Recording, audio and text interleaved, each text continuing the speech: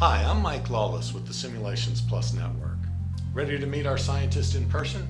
Find our team at booths 12 and 13 at this year's ACoP in Florida, starting this Sunday, October 15th. Dr. Paul Watkins will be hosting a state of the art lecture along with talks from both Grant Generaux and Jeff Woodhead. Poster presentations from scientists representing all three of our divisions will also be on display. For more information on upcoming events, click on the link in the description below. Stay informed with the latest on modeling and simulation solutions by following us on our social media or by visiting us at www.simulations-plus.com.